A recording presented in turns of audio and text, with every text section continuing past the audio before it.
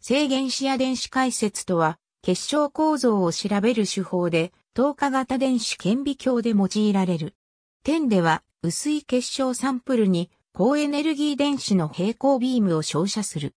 一般的に、点サンプルの厚みは100ナノメートル、電子のエネルギーは100から400ケブで、電子は容易にサンプルを透過する。この時電子は粒子ではなく波動として扱われる。高エネルギー電子の波長は数千ナノメートルであり、固体中の原子間距離よりも100倍程度大きいため、原子は電子に対して解説合子として働く。つまり一部はサンプルの結晶構造によって決まる。ある一定の角度に散乱され、その他の部分は変更せずにサンプルを透過する。その結果点のスクリーン上の像は、制限子や解説パターンと呼ばれる一連のスポットとなり、サンプルの結晶構造の満たすべき解説条件を満たすように各スポットは現れる。サンプルを傾けると別の解説条件が有効になり、異なる解説スポットが生じたり解説スポットが消えたりする。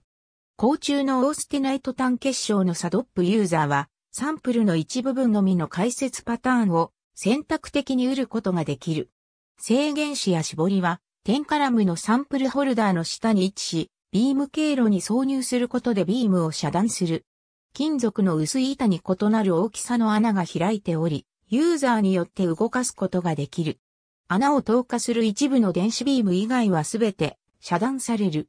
調べたいサンプルの位置に絞りの穴を動かすことで、その位置のみがスクリーン上のサドップに寄与する。これは多結晶などで重要である。一つ以上の結晶がサドップに寄与する場合、分析することは困難となる。そのような場合、一回の分析で一つの結晶を選択するのが便利である。二つの結晶の間の結晶方位を調べるときには、一度に二つの結晶を選ぶことある。サットは結晶構造を同定したり、結晶血管を調べるときに用いられる。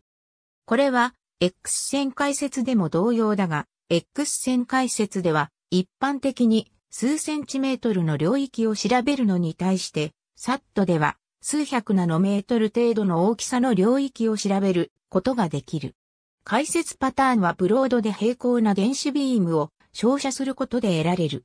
増面での絞りは資料の解説領域を選ぶのに用いられ、一選択的な解説分析を与える。サットパターンは逆格子の投影で、鋭い解説スポットを示す。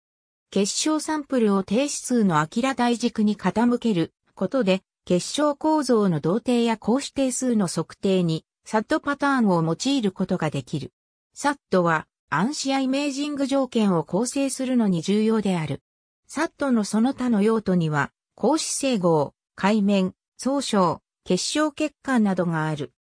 サットは主に材料科学や固体物理学で用いられ、最も一般的に用いられる実験手法の一つである。単一のスポットが現れるのは単結晶による電子解説の場合のみである。多くの材料では異なる方位を持った多くの結晶が存在する。多結晶材料のサットは粉末 X 線解説と類似した感情パターンを生み、構造を同定したり、ナノ結晶とアモルファス晶を見分けるために用いられる。ありがとうございます。